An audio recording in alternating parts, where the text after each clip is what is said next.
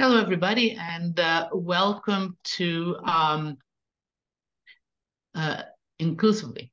Uh, we have a, a, special meeting today uh, to talk about AI and ML, and uh, uh, our guest is Greg Mayo, Chief Architect at NetScout, and obviously I will be here with Chris Lewis, my, my partner in crime here, who is the founding director at Lewis Insight.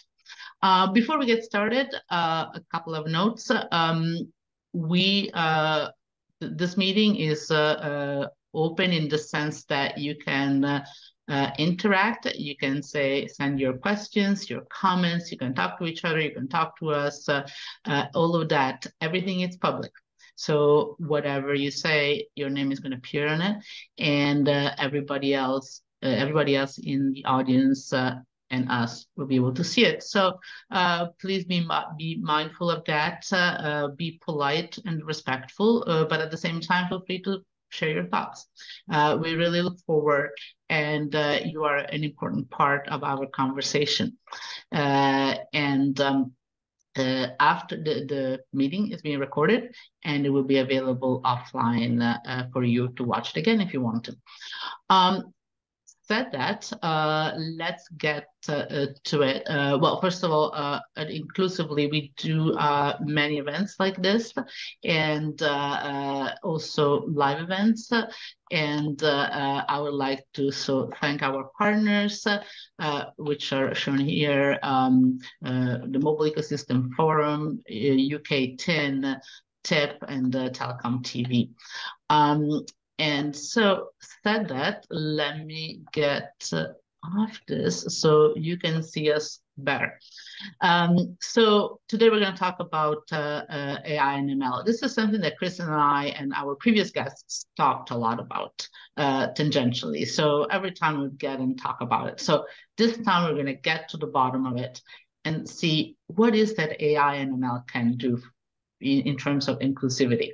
Uh, it's a big topic but uh, Greg is the perfect person to address it and to go in with all of that. Um, uh, just a quick disclaimer uh, at the beginning, we're going to be talking about disability, mental and physical disability. Uh, we are not physicians or doctors, uh, so we are not making any judgment on who is, who isn't, uh, what is impairment, and you know, we just talk about how technology can help in it. So take it as it is. Um, with that said, uh, maybe uh, we will start first with Chris giving us an update on uh, uh inclusively, and then uh, Greg can tell us all about himself. How about that? Thank you, Monica. And as ever, lovely to have everyone with us. Thanks, Greg, for joining us. The the, the inclusively initiative that, that Monica and I kicked off uh, is is as it suggests is is attempting to bring together and raise awareness Uh, around the telecom industry, but more broadly than that, I think we'll find from the from the following discussion, and certainly what we've had so far from the the CTO at TELUS, from the head of C chief digital officer at BT, from people at Vodafone, people at lots of lots of different organisations, we've seen many many elements of where it's talked about the diversity of employment within organisations. We're trying to move the discussion to be about actually raising the, the use of inclusively to look at all of the customers and customer interaction. And, and as Monica said, during many of those interactions that we've already had, both the ones we've been able to talk openly about and the private ones we've been having with organizations, because not everyone's comfortable talking about it uh, in public yet, but we're trying to encourage them. But when, whenever we get into these discussions, I think two really important things come out. One is that it, it isn't just black and white in terms of who's in who's excluded, who's included, or is it just about vision impairment, about hearing, or or today we're going to talk mainly about cognitive issues. The degrees of impairment across all categories are just there are so many of them, the thousands and thousands of gradation gradations that we can think about. So in in trying to raise awareness, we are opening up an enormous range of of topics and potential misunderstandings from from people because people tend to have a very um, very set idea about you know what what being what being blind is, what being hearing impaired is, what being cognitively disabled is, uh, and I think what we what, what I hope is going to come out in the next session is is looking at one particular part of this uh, through through Greg uh, to get his view both on AI but also on the on, on this cognitive and uh, that that side of things. And there is no answer to the problem.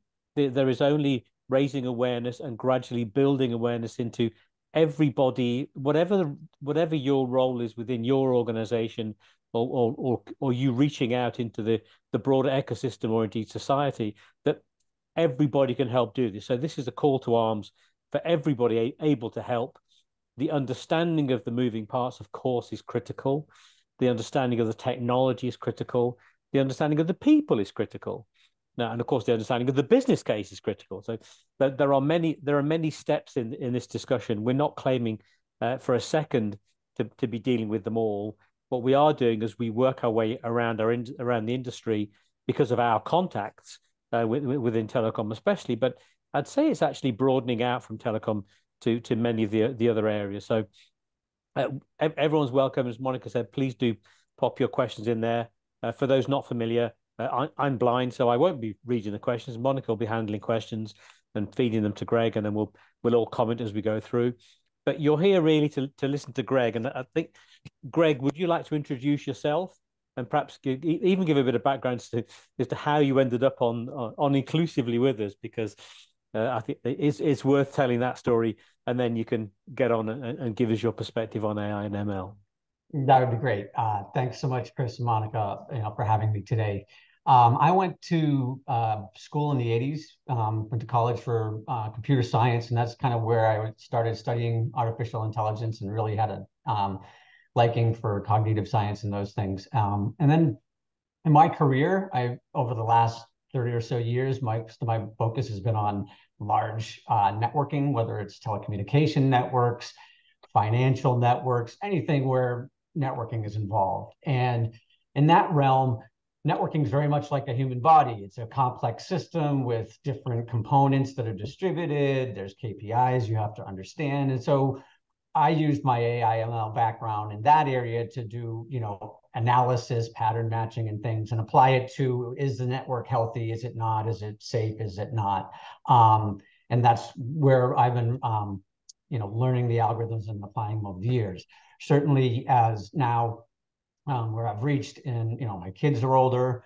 Um, I was able to take care of my mom in the final years and she had, you know, some different disabilities. And now a, at a point where I'm doing more volunteering and at a point where also I can use my background in, you know, the technology space to interact with folks like yourselves. Um, I happened to meet um, Monica at an event that we throw for our, our, our users and um, she was the head of a panel where they get up and you know answer various questions on the panel. And um, afterwards i was able to talk to her. And then um, you know we had a lot of simpatico around this topic area. And so um, and that's how i kind of arrived here. So I, am very passionate towards the technology. There's obviously a lot of uh, mystification about it. Um, certainly both even within the technology sector and certainly the farther away you get the more mystified it is to folks that don't necessarily understand some of the you know finer details of it.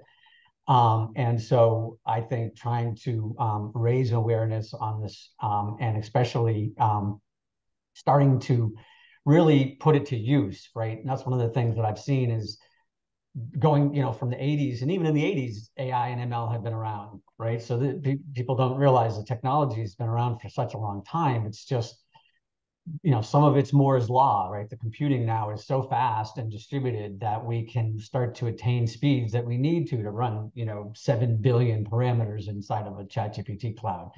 And and that with better designs and algorithms have now got us to the point where the stuff we thought of it you know people have thought of this stuff for decades. It was just more wasn't applied. And certainly even in the space of um, you know disabilities you have um, my wife worked with uh, ray kurzweil a great um, you know um, technology founder in the space of AI who quickly went towards how can he apply it towards optical character recognition.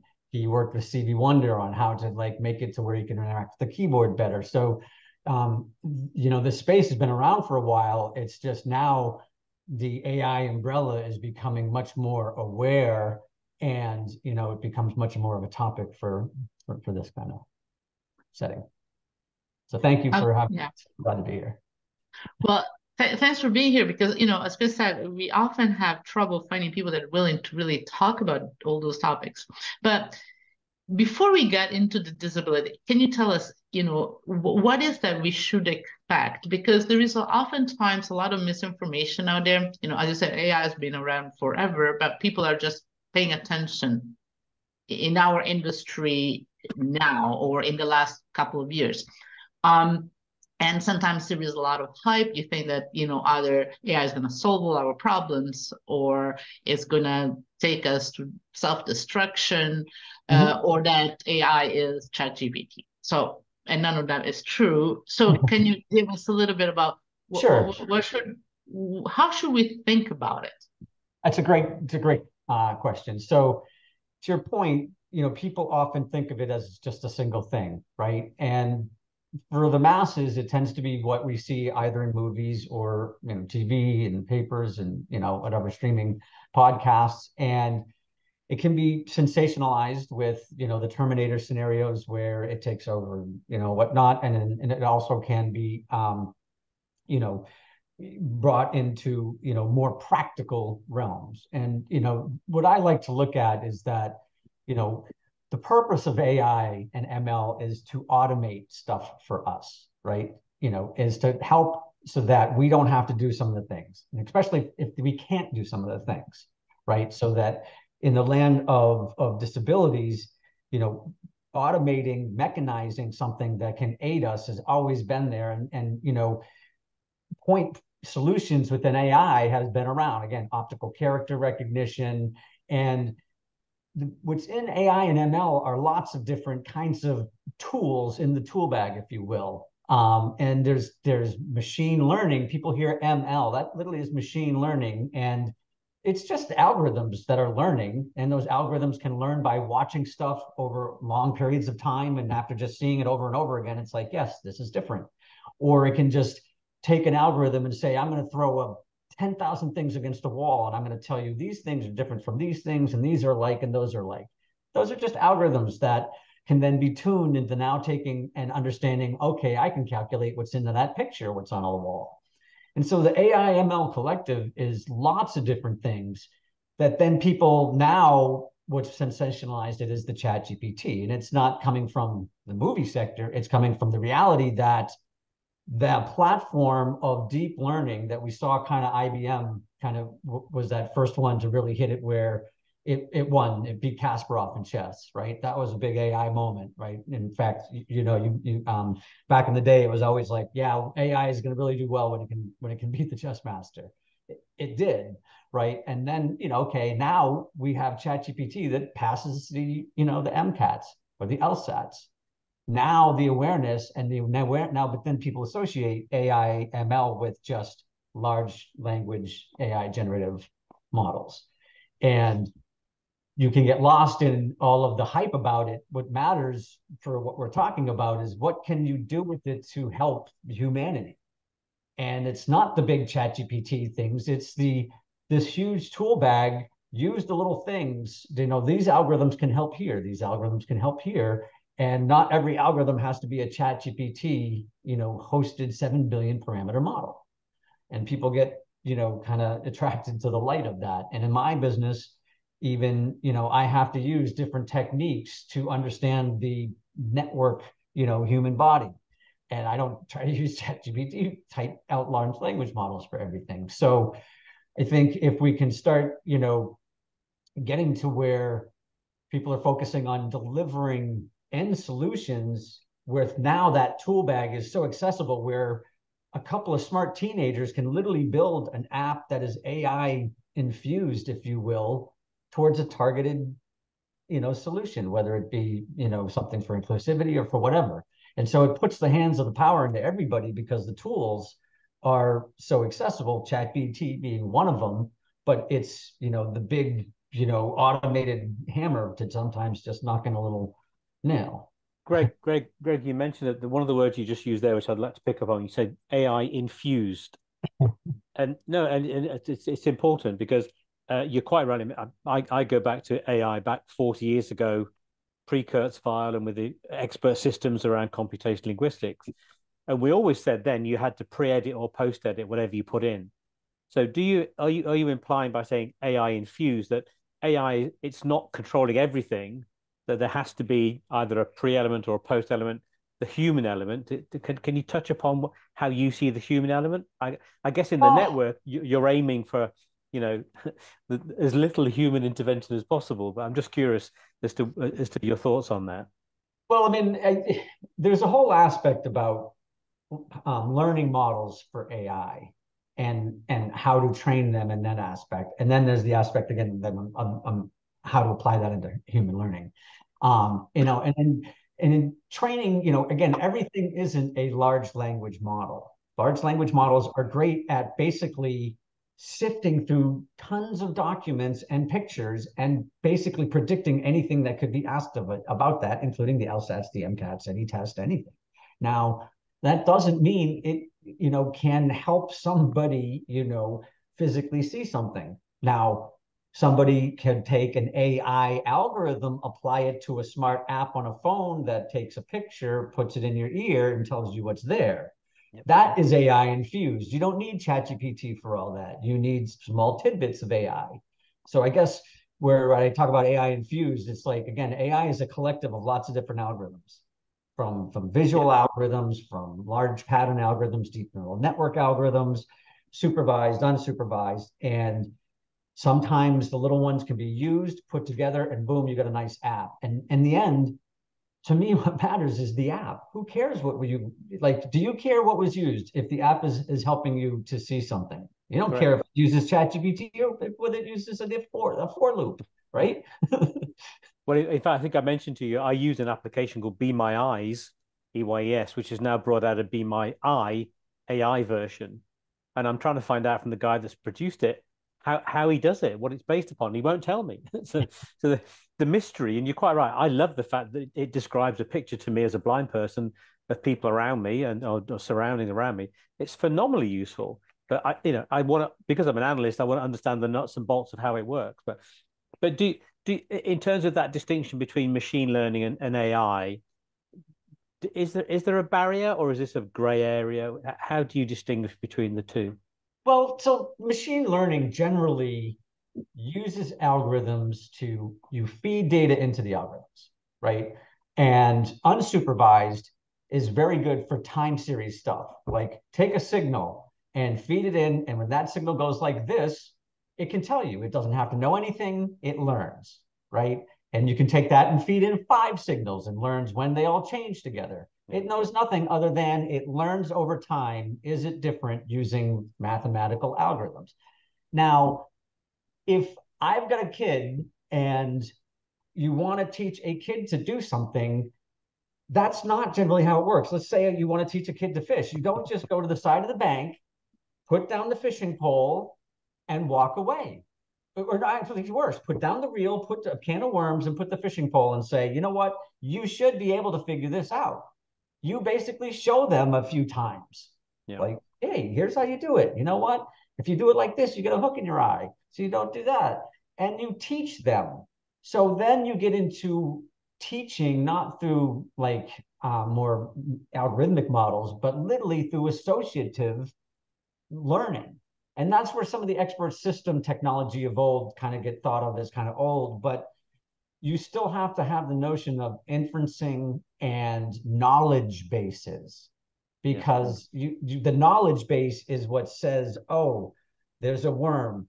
The worm goes on the hook. The hook does not get in my eye. You know, that stuff you can teach way faster than trying to use a huge thing. You just tell the people, don't, you know, put the hook here. So where I get back to that again is is people in our industry even get hung up on the fanciness of the tool and forget about what are we really trying to do? Let's just build a small app. Why aren't we building an app to help somebody hear this, help somebody see this? And and even in my my competitors will start marketing how good their stuff is doing using something, but it's like, but what is it doing? All I care about, and it goes back to somewhat of like the Turing the Turing test kind of um, approach, which is like you know if I'm giving you a result and you don't know how it was done, but it gives you what you want, who cares what is behind the curtain if it's assuming costs you know social responsibility all that good stuff Do you care if it was an AI chatbot or if it was just a person, a monkey? if right, if it ticks socially all the right stuff. But people get focused on no, I want to use ChatGPT to that, but you don't. The monkey's going to get it right half the time. I don't need ChatGPT. Yeah. Now, uh, hold on. Uh, we have a question about controller regulations on AI. Uh, uh, we'll get to that later. But uh, Greg, what could you tell us a little bit about, you know, um, the, the the sort of mental issues? How can they be addressed potentially by uh, AI or ML? I mean, I, I uh, heard a lot about people talking about how you can have like therapy. So, so you know, it's like a just that you know Eliza at the beginning, which was like kind of a joke, but kind of like pushing it forward to something where it can be useful. And uh, I guess the question, I mean, the debate there is that, yeah, you can get something like chat GPTs to do it, um, but it clearly is not going to be as good as a human doing therapy. However, it might still be better and cheaper as nothing at all. And so is it useful or is it not? Or how should we think about it? And or are there other ways that, you know, you have AI can help people with uh, mental and cognitive disabilities? So that's a great uh, that's a great question, and um, I have the benefit that my daughter is a licensed independent social worker, um, so she does a lot of social therapy, um, certainly with um, young children, and you know, and and trying to look at you uh, your question. Right, certainly a chat GPT can sit there and go, well, tell me about your mother and how was your day? And it can do pretty much the standard, you know, kind of question and answer stuff that you would expect, you know, some standard 101 to go through. Is that going to be beneficial to somebody? Maybe. I don't think so. You know, that's not what my daughter would tell me would be beneficial. Um, but you know, perhaps and ChatGPT can do that today, right? You can get on, I'm sure you can find an easy, you know, therapy app for that. What I see, I think, is back to where how can we use the different tools to actually impact and like one of the things my daughter does is lots of different techniques in her therapy.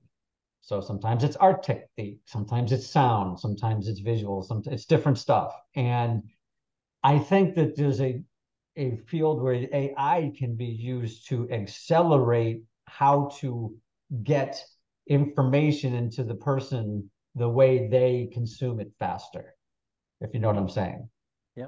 Um, and so there's not a lot of research in that area, you know, obviously, um, you know, and, and certainly generally, right, you talk about, you know, the area of cognitive, certainly the areas of the mechanical aspects of the body are the quicker ones we can attack with, you know, we can build things we can, that can help right away with the mental aspects, it's not as obvious as like, well, what, can we build with AI? Like, you know, I can't build just a quick app that takes, you know, that can take a picture and do something. What is it you're really trying to help within this aspects? Is it just a chatbot therapy person so that, you know, Greg Mayo can go get his therapy on Thursdays? Or is it, can we use the techniques to maybe, you know, I would say crowdsource. I say crowdsource because I see today's youth building content delivery different than the elders of the older businesses? And can we get apps, content, right? I don't care if it's an app, it's now it's anything, it's a phone, whatever. Can content get delivered to people that impact? In that area, it's, I think, you know, again, it's um, I haven't seen a lot of of you know out there.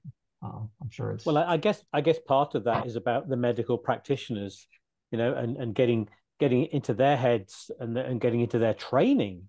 You know, one of the things that we've noticed in in some of the early inclusivity work is that you know, yes, we could we can re-educate people of dare I say our age, you know, but but actually the people coming through to your point about the developer community, actually getting into universities and schools and and making people aware that, that these requirements exist. And if I obviously I follow now a lot of a lot of sort of inclusive design people on various social media and I saw something the other day which I I'd never would never have occurred to me until I started looking at this, which is that you can animate your signature on email. You can do all sorts of fancy things with it, but actually that is incredibly distracting to people with certain cognitive conditions. So one of the one of the this this comes back to the question I think of identity, and if you if you identify as having a certain issue, then does the system respond to you by blocking out a lot of light or by rendering it to your point about which communication channel gets used mm-hmm. you know mm-hmm. there, there has to this touches upon so many elements from and, and i think we saw some of the announcements this week from people like qualcomm about putting more of this processing power down into the device you know i i guess we we're the assumption we're working with is that it will all be done in the cloud i think as you as you just said but actually this gets distributed throughout the whole of the ecosystem all the way out to the individual because it's got to be it's got to be there to help every, everybody every point. And and i think you're right that, that we we need that crowdsourced developer community to to be to be delivering this this sort of this sort of stuff. The big guys will will deal with it. So I'm, I, I should hold my hands up and say people like microsoft do an enormous amount of work around accessibility and inclusion. So do google um, facebook perhaps to a lesser extent, but I don't really get exposed to that. But I think we've got to be also be very aware that at every touch point that we the individuals have with with the systems of the future, with the whatever we want to call it, you know, we've got to be aware that we'll need to render things differently and perhaps screen things out, perhaps give a, a simpler interface. You know, we we spent the last 10, 20 years basically cluttering up our screens, haven't we, with with more and more icons and more and more fancy, fancy, uh, fancy stuff. And actually, that perhaps that's not the answer. Perhaps we will finally go back towards uh, rendering it in a way that, that suits Monica or suits me or suits Greg or suits your daughter when she's working in, in therapy and so on. So it's a big question. I don't, I don't underestimate the, the, the, severity of the question. I mean, certainly, you know, I mean, I, I love watching sci-fi movies and, you know, I like to look at them and go, yeah, that's probably going to happen, not going to happen, mm, already happened, you know, and, you know, the notion of a of a device like from Star Trek that can translate, that can um, in real time basically connect you to anything by, you know, I mean, that's practically there today, right? You know, essentially, you know, I can almost have my phone do translation, take a picture, it, you know, in real time, access virtually anything I ask via ChatGPT. That's close. It's getting there. Now, how much does that help us?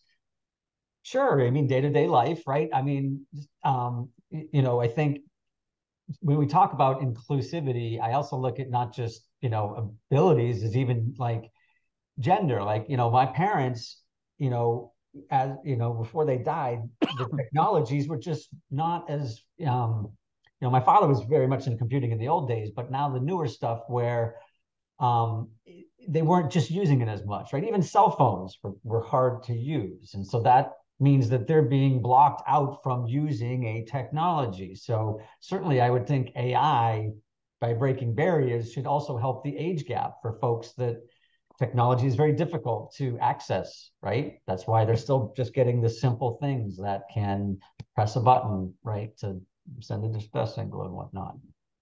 Um, so it's I think helping the you know helping the elderly benefit from AI is also a whole other area. I, and, and I think that's one of the things that we have touched upon in the other in, inclusively discussions is that, of course, we we we focus down in my case on the vision impairment community, uh, on what your daughter's doing on the on the cognitive issues, but actually with the elderly population, you know, a lot of people tongue in cheek say to me, it's the disabled and the not yet disabled. you know, because a big proportion of that elderly population will begin to lose their hearing, will begin to lose their sight, and we know the the degrees of uh, of cognitive issues and, and dementia and so on. So it is about making sure that we, we use this technology properly to keep them as included as possible for as long as possible. And so it's almost flipping it on its head, isn't it? From where where people I'm even thinking a little bit bigger, which is not so much the like loss of cognition as there's a generation, and even it's not necessarily age based throughout the planet, that doesn't uh, know how to use technology, even though it's simple for me and you. Are just like, what do you mean? Yeah. Just just press here, and they're like, well, I, I, don't, I don't even know what you mean. Like yeah. that may sound simple to us, but I'm sure you know a lot of people in countries don't just have access and we forget some of the simple things. Certainly, elderly is the first, and it's not necessarily their cognitive thing. It's just they were born pre-internet. You know, even I'm 56, but I mean, I'm, i work in technology. I have friends who aren't that tech savvy, and it's a barrier for them. Do you know what yep. I mean? They don't have any normal disabilities. They're just not. Monica, have we got? Did I hear a question Yeah. come in? Yeah, we have, we have uh, more questions. Actually, there is uh, somebody talking about uh, uh, AI um, for um, how can AI help elderly for may help uh, for uh, loss of hearing, uh, loss of vision, and I guess that you know th- this is something that we're going through all the time. You know, you're just uh, uh, sooner or later we're all going to be disabled, or, or we have been disabled in the past uh, for some time. So it, disability it, it is not something that is just a few people out there. It's not a minority. It's most of us at some point, which is not to. It's not like a sort of an appropriation kind of thing, but it's like the fact that at some point we all need something and we need to be able to access it. But let me ask sort of a devil's advocate question here from the other end. It's also true that uh, disabled people might be also more be more vulnerable. So when you have AI that is able to kind of guess and do kind of be more intrusive, um, it, it could be also a situation where uh, disabled people, especially mentally and cognitively disabled people, can be more uh, exposed to vulnerabilities, scams, and things like that. Sure. I mean, um, I would say that, you know, this technology brings the capabilities for a lot more of that.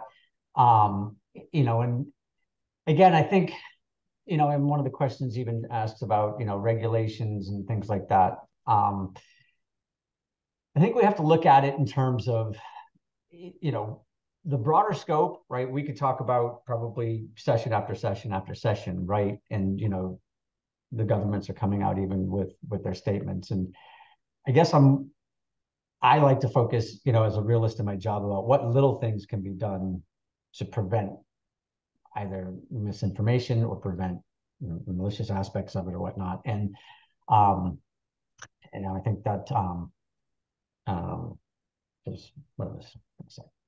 It is well, perhaps the other the other element that, and it goes back to your your fishing example, uh, which I which you know, and it's that thing about the if we if we if we build around our knowledge, our understanding of the way things work, but we don't allow for people who have an impairment. So, stu- perhaps a stupid example, but can somebody with no arms go fishing?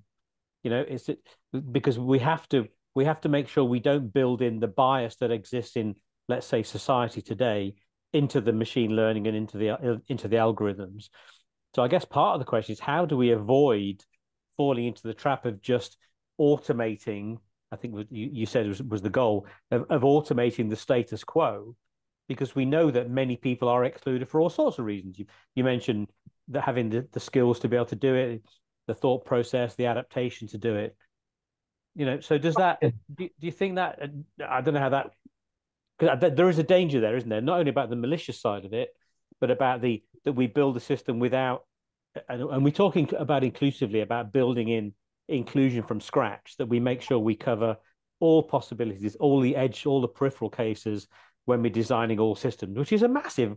It's a tall order, right? But but if we don't do it, then this is where it's different in 2023 than it was even five, six years ago. Is that to deliver a, a mass, you know, scale change to the planet for an area like this required big governments, huge businesses, massive things like that. Because we would need to have huge discussions on this.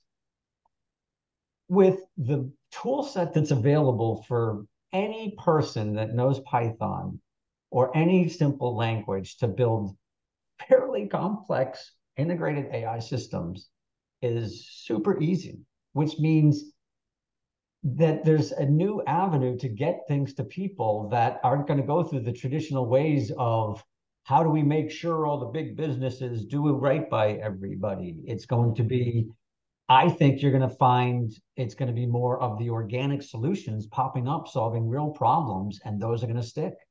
Because we don't, it's almost like, again, like the record industry, right? I'm a musician, and it's like, you don't have to wait for the record producer to be like, yeah, I like that music. Boom, it's out there, right? Somebody comes up with a good idea for solving a, a disability problem or anything. It's immediate now. So that's- it's unfettered and it's not regulated and this and that, and that's another discussion. But it's a different world of worrying about is the AI collective going to handle all these corner cases? It doesn't matter because the collective now is everybody that can write an AI program. Do you know what's Go on, Monica. Go on. Could, we, could we go back then, uh, since you mentioned regulation, go back to, to the question and talk about it. So we've seen there is a, a lot of uh, efforts from the government sides, I mean, worldwide. So different governments coming together, trying to get make sure that AI is sort of well behaved. Clearly, that's a big concern, as as you pointed out. On the other hand, the kind of genius out of the box here, it's kind of like open source. It's like uh, everybody has access to it. And clearly that includes risk, but it's also a huge opportunity because at the beginning you said, you know, it's going to be just a couple of teenagers that might be, be able to develop an app. So it seems like we're past the point where regulation can stop anything. Uh, and maybe that's a good thing in the sense that that's going to encourage the ecosystem, encourage, you know, whatever. Uh, we have to be aware of the risks, but also we don't we wouldn't want to have an AI that is so tightly regulated that those couple of teenagers can do anything. No, I mean, and that's a great point, right? I mean, it it's past the point where you can stop AI from being applied to something because now it's out there you can write the algorithms. But sure, you can you can build a gun, but you still have to stop the person, right? I mean, so it's AI is not was what's going to destroy us, it would be ourselves, right? So it's it, the regulation has to come on the use of it, not can you know we're going to stop development of large language models. Like it's not large language models that are the problem. Did Greg, you know that what you just when you just talked there, and you Monica made me think is that traditionally the the development of let's say assistive technology or or assistance, human assistance, was always done within each let's say disability group or even with the, even within each subgroup of each disability the the danger that actually i think this falls into is that if we develop or if your two teenage people greg develop a solution for you know somebody with alzheimer's you know is it can we can we then easily plug that together with dealing with someone who's losing who's losing their sight at the same time or the hearing's going because my experience certainly to date is that this has really been done in isolation within each within each group. But I think, uh, and that that obviously worries me that we're not going to have a, a coherent set of building blocks that we can bring together to address you know multiple situations. But but I, actually, the excitement that it creates, where the, the third sector, you know, the charity charity sector, or the like the US, the National Foundation for the Blind, or the RNIB over here, you know, they would have developed things in the past. Actually, the expense was too great. What what what the whole compute environment does, because we've got the compute power, the storage, the cloud, the devices. Actually, the possibilities of developing things by the people who understand the different, you know, impairments and disabilities, I think is enormous. I, I, that's, Absolutely. Yeah, I like that. I think that's a very, very good point. Thank you. Yeah, and you know, I mean, again, I'll say one more time: we, we don't have to wait for the Microsoft or Google no. to come out with it. Literally, we can go program it. It's you know so easy to program AI systems now. Well, that's almost it's almost I think uh, the phrase democratizing AI popped into my head while you were talking. You know, yeah. so it's like saying people anyone can do it as long as the power of the big guys doesn't block it. And I I, I don't really have a view on that. I, I, think it's too early to have a view on that at the moment. Well, they can't because it's been released. Llama model released yeah, to the world. Point. It's a, and yeah. it's you can argue, okay, Llama is not as good as Bard or is not as good as OpenAI, so it's slightly not as good. It's plenty good enough to write very good AI models and train them. But um, I have to say here that it's very easy to say bad things about the big guys, but in this particular case, they, it's not like they're stopping. They're not trying to prevent. Oh. Uh, so uh, I guess the question is that we need to make sure we deal with bias in the right way, but bias can be introduced by anybody, big and small, good and bad, um, because a lot of times bias is introduced without intention and intentionally. So. So there is a lot that is so actually I think that there is a situation here where everybody's working in this right direction. The question is that do they put enough uh, uh, effort uh, or not? And so maybe Greg, you can say, you know, who do you think that when we talk about disabilities and AI, who do you think that is going to lead the charge here? Who's going to be the most uh, valuable, if you if you think there is one, or if it's just going to be completely you know, hard. distributed, or is it like the teenagers, or is it the Microsoft and Google's?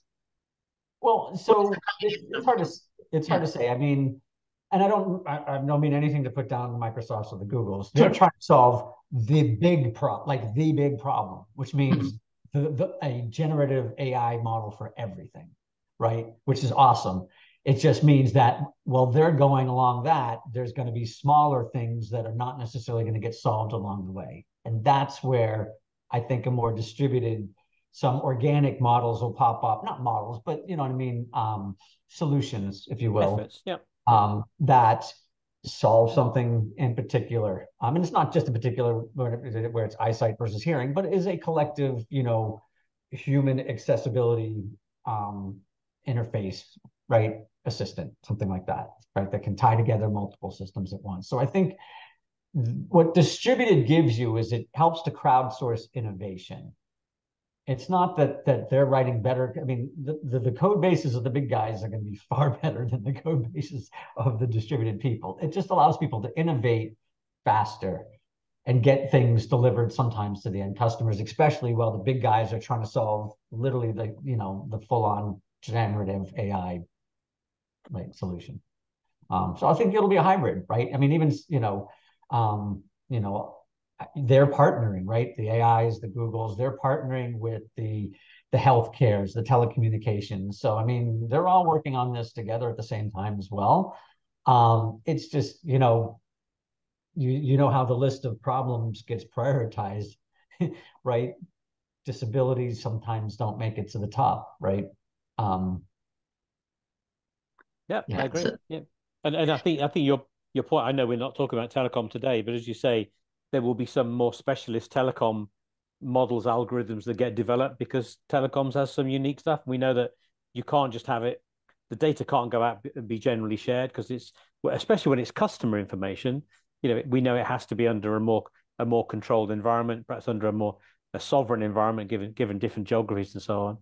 So yeah, it's a it's a layering, isn't it? It's a layering of all these AI things. Yes, and we're going to have something about sensing, which I guess addresses this kind of issues in terms of uh, privacy and what, what are the trade-offs that you're going to have there. But stay tuned. We'll we'll have one event on this. Um, there is a question that has come out in a couple of our meetings from Chris, which is, uh, uh, will I be able to see in the metaverse? Now, the question that I would like to ask you is that uh, will AI enable Chris to see or uh, a deaf person to hear um, in some way. And the reason why I find this question fascinating because it's, it comes gets to the question of what does it mean to see in the first place. I used to be a vision scientist, so I'm a, little bit biased on, on the, this kind of, of thing because, um, but uh, um, you know, what should we expect? Because clearly, the AI and vision uh, have been, you know, major supporting each other.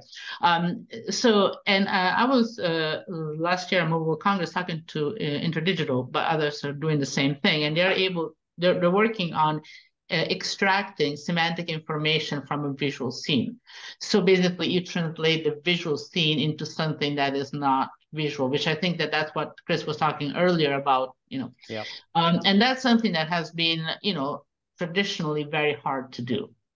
Uh, and that's where you do need, and I think that we might be on a point of actually being able to do this better. Uh, do you want to comment on how, how, you know, could we expect AI to help us with things like that, to, to, to you know, to basically translate content, analyze, well, content, like say visual and, content into non-visual stuff? I would say for sure. I mean, if you look at um, like that example again, that is a descriptive um, a description of everything in the visual realm of what is there, right? AI is great at that. And you know, I'll get back to kind of like the Moore's law stuff now is like I mean, the, the big game changer will be when quantum computing comes. But like even with Moore's law, it it works. It's pretty fast, right? So we are at the point where an app can pretty much say, uh, you know, you put it on your head and it says, "Yeah, Greg, turn to the left. I you're looking at a lamp. You're I see a green lamp. I see this. I see that." So that for sure is, and the speeds are are there now.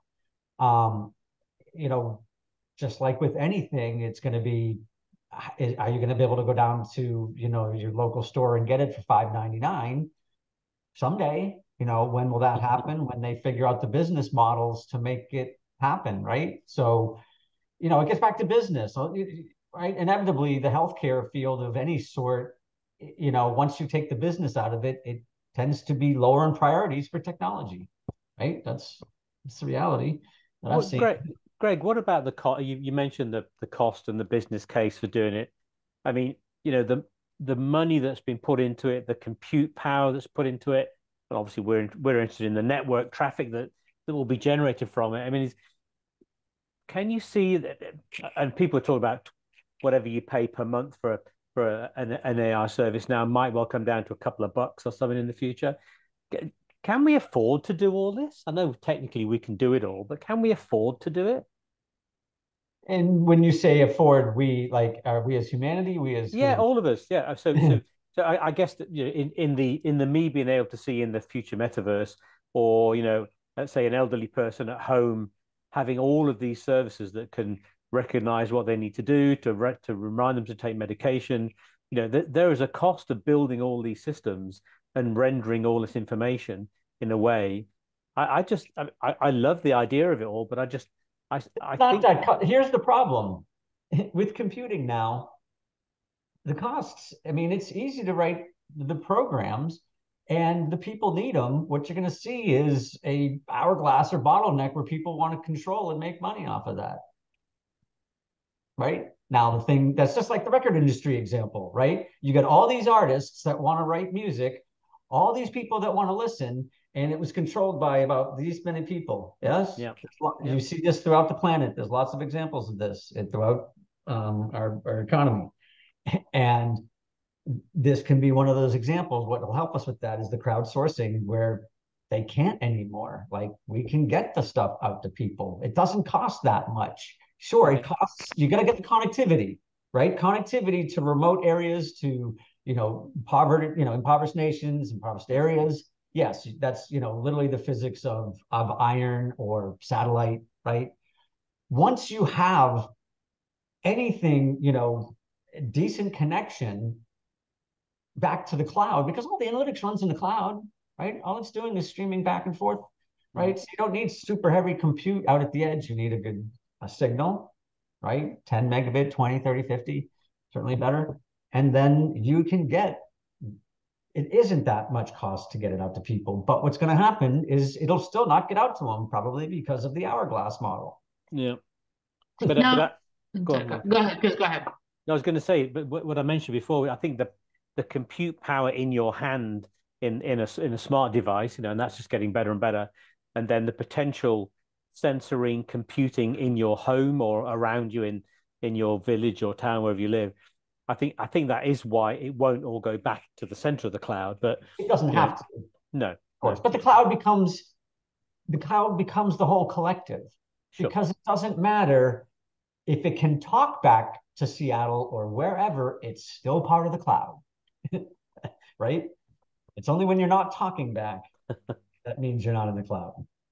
Go on, Monica. Sorry. So, uh, Greg, you, I know you you do a lot of volunteering, mentoring, uh, I say kids just because of an age thing, but they're not they're not necessarily kids. But um, what is that we could do uh, in terms of, from sort of our end to sort of encourage or to make them aware uh, of all those inclusivity uh, um, issues because you know if i were to say if you're when you're a teenager when i was a teenager you know the, the the disability part would be kind of lost on me more so than it is now when i start seeing my own kind of things you know what i'm saying mm-hmm. so is there something that we could should do as individuals or as an industry yeah i mean it's it's interesting because AI and ML is so mainstream now. Like a five year old probably be like, hey, AI, ML, right? so it's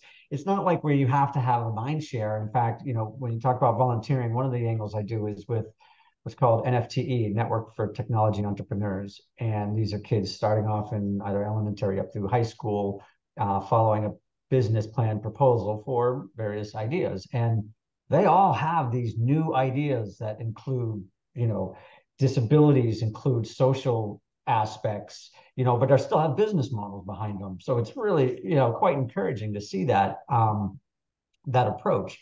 And I think, you know, that youth is already there. You know, the young young youth is already exposed to AI ML as if it's like you know anything else they would call a red ball you know just anything that's around them now so it's i think for the younger it's it, it's going to be more about the safeguards and the appreciations and the fact that you know it's it's no more than the safeguards of the internet today right you can take a phone and you can put it in a five year old and they can literally access the worst of humanity within seconds yes all ai is going to do is make that faster we still have the problem of well how did it how is it a, a five year old is able to access the worst of humanity? That's a different problem. AI will just make it easy, make it faster and easier to have that problem, but you got to solve that problem. Well, you could also resolve it quicker, couldn't you, by an AI, by a, the AI monitoring what the what the child is doing and having that that visibility, that observability in the network. That, uh, that will come, but but yeah. you know, yeah, and you know that'll come for for for parents that didn't know how to do it right? Because they could have just not, well, you know, could have done a few more things. But yeah, it can definitely help. You know, but it's it's one of those things where it's a race, right? You have you have the hackers and you have, you know, the, the guardians. yeah. And you want to be nefarious and then you build in, you know, controls. And it's always, you know, always going like that. So there's always going to be bleeding of nefarious activities of some sorts AI will be very beneficial in helping that for sure. But then it'll also be used to make it worse too, right? So can, can I take you back? We, we we started and you started talking about AI and, and mental health and the work your, your daughter does, for example. Did, is that a good example of applying it very specifically and getting very quick returns? I mean, we I'm... haven't gotten returns. This is my idea. Is what I see is an opportunity. I haven't done anything. I've seen my daughter using different techniques in her toolbox, whether it's art, you know, sound, and you know, obviously we talk a lot. And there are apps for for people with PTSD, with learning disabilities. So the what went off my head there more is how do you have some content delivery that is AI infused for people that have cognitive impairment, whether it's PTSD or yeah. whatever kind of thing. But, but you know, but but that's but, anything yet. But I don't think that's any different to to my sort of vision of the and let's take telecom as the example rather than healthcare of, of the telecom industry when so rather than you keep telling T-Mobile or Vodafone or whoever you know don't send me a physical letter don't send me email you need to call me or you need to send me sign language so that translation of content, the adaptation of content, it rendered in a way that suits the individual, uh, whether and, and in what you're describing, it may be PTSD, of course, is very specific. The example I gave about flashing lights on signatures, you know, once again, so th- there has to be a marriage of the identity of the individual, the individual identifying as, you know, requiring this sort of, this is my personalization of how I want information rendered to me, and then the system in the background being able to translate the, the information or the or the content in a way and deliver it in a way that suits the individual. So it, in my head, this is the ultimate personalization of content delivery and information sharing and collaboration because it it sort of cuts across all these things. Oh, for sure, and that's where potentially a therapist could work with AI infused software to deliver their therapy. It's not like they're just handing them an app, but yep. they would be working with an AI based system to help deliver the therapy just like they do when they're painting or when they're, you know, listening to music or whatnot. Yeah. Oh, brilliant. Yeah.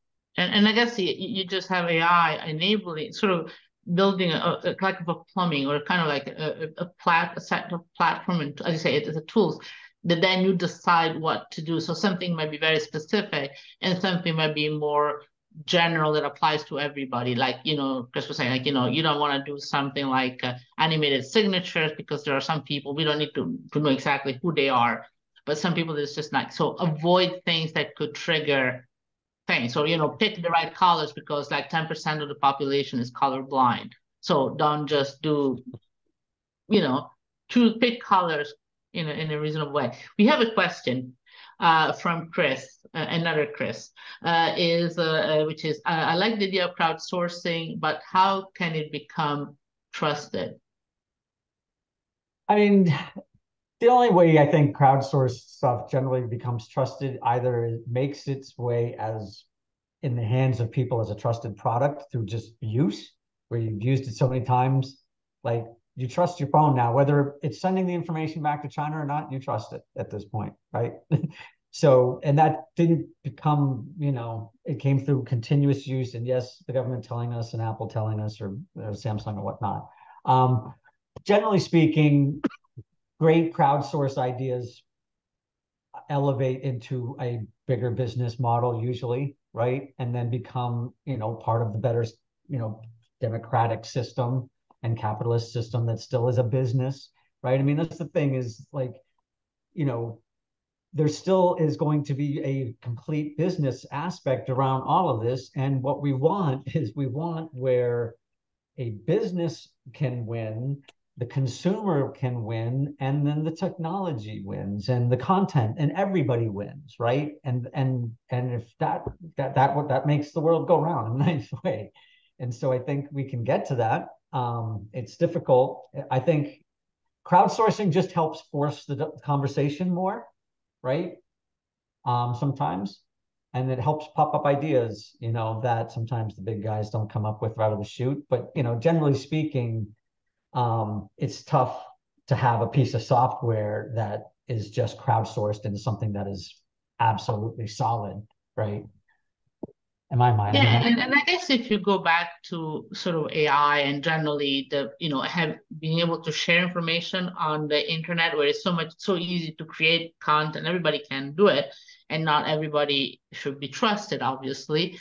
Uh, so I guess that we need from the other end of the receiving end of the access any content, whether it's crowdsourcing, AI, or whatever, we need to develop a sort of a, a awareness on how to assess it. In the same way that something just because it's printed doesn't mean that it's true doesn't mean that because it's in the internet it's true and people just need we i guess we it's an educational effort which is not trivial. Well i no, think it's, it's but I, th- I think it's also let's think about the platforms across which these apps will be consumed and delivered and you know the the, the toolkits that uh, that apple have that the the android community have in in the mobile world you know there are certain checks and balances in there you know with who knows what under Web Web 3.0 checks and balances will, will be out there as well. So I, I, of course, it's up to the industry to make sure that when things get brought in and used, that they are valid. I mean, I, I still would love to know how the how are we going to tell whether something's been AI produced in a from whatever system? It, should there be a water stamp on the you know on AI AI generated material? Uh, I know that the education system is obviously very focused on this at the moment. Um, as useful as useful as all these tools are, you know, we we we do need to know who's generated it and where it's come from, and the authenticity of it. And I think that's part of this.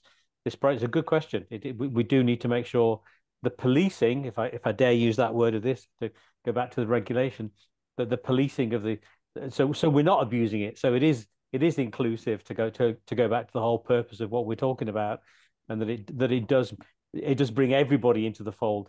So yes, there's a massive opportunity, but we do need to be very, very aware of the uh, of the bad actors, as I think the black hats, as I think you mentioned.